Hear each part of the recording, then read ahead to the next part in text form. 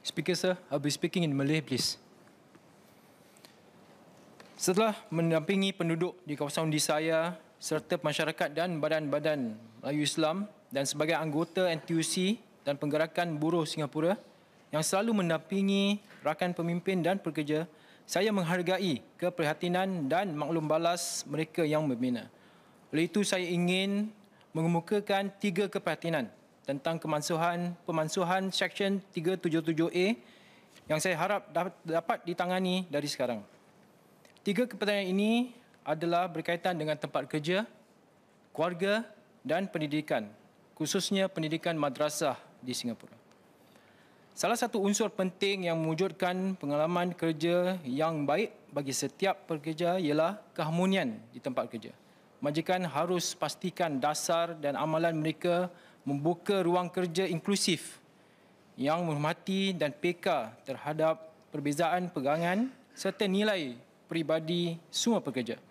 Janganlah mengalakkan kegiatan yang dapat membawa kepada diskriminasi atau tindakan membuli. NTUC berpegang bahawa semua pekerja patut dilayani dengan adil berdasarkan kelebihan masing-masing.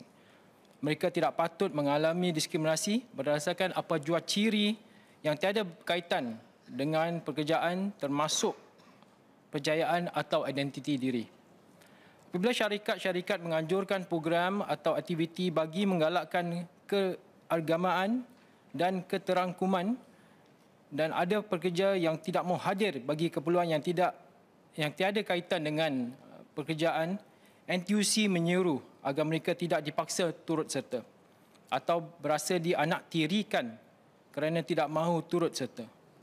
Kemajuan kemajuan kerjaya mereka tidak patut terjejas disebabkan tidak ikut serta.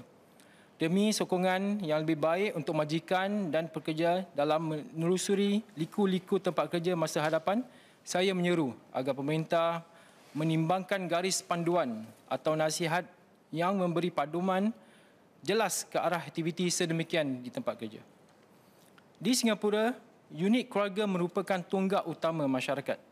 Banyak dasar pentadbiran kita seperti perumahan, berkisar pada unit atau nukleus keluarga. Saya suka cerita pemerintah akan tetap menegakkan keluarga tradisional dalam dasar dan undang-undang sambil bekerjasama dengan pihak kepentingan untuk melakarkan haluan kehadapan. Pada masa yang sama, terdapat keperluan mendesak untuk mewujudkan ruang selamat bagi keluarga membincangkan perkara berkaitan seksualiti secara terbuka khususnya ibu bapa yang dan anak-anak sepatutnya bebas membincangkan perkara-perkara begini tanpa dikhawatir dimandang serong. Ibu bapa yang tidak setuju dengan pandangan komuniti gay dan homoseksual homoseksual tentu tentang seksualiti tidak patut diaibkan di mata umum. Mereka patut bebas menyuarakan pegangan sendiri kepada anak-anak mereka didasari oleh ajaran agama dan pandangan dunia mereka ibu bapa patut diberikan ruang untuk melindungi anak-anak mereka daripada sebarang kandungan yang mereka tidak anggap yang mereka anggap tidak wajar termasuk yang berkaitan dengan komuniti gay dan homoseksual.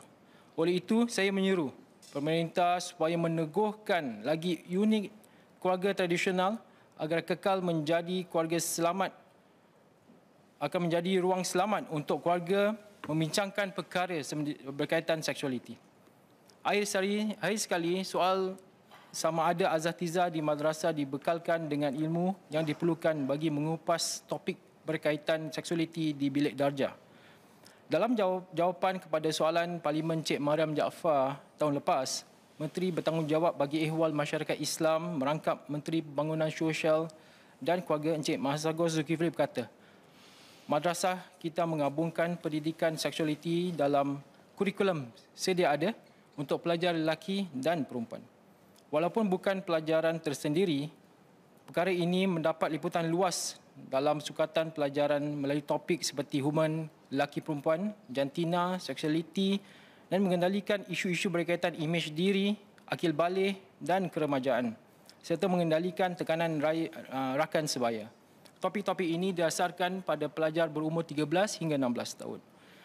Kelulusan rang undang-undang ini menimbulkan kebimbangan tentang kesannya pada pendidikan seksualiti di madrasah. Tambahan pula buka, belum diketahui sama ada patut diadakan latihan tambahan bagi membekalkan azatizah dengan kemahiran yang perlu untuk mengupas perkara sensitif berkaitan seksualiti dan bagaimana isu tersebut patut dibentangkan kepada pelajaran. Oleh itu, kajian lanjut patut dijalankan tentang sejauh mana rang undang-undang ini akan mempengaruhi pendidikan seksualiti di madrasah. Sebagai penutup, meskipun beberapa kepertahanan telah saya huraikan tadi, saya menyokong rang undang-undang ini demi nilai inklusif dan dalam masyarakat kita yang beragam. Singapura negara yang beragam dan akan semakin beragam. Walaupun ada pelbagai perbezaan, kita dapat bersatu hati dan berbina bersepakatan, bersepakatan dalam isu-isu negara. Begitu juga dalam hal ini. Oleh itu saya menyokong rang undang-undang ini kerana kita satu keluarga besar dan pegangan setiap pekerja itu penting. Terima kasih.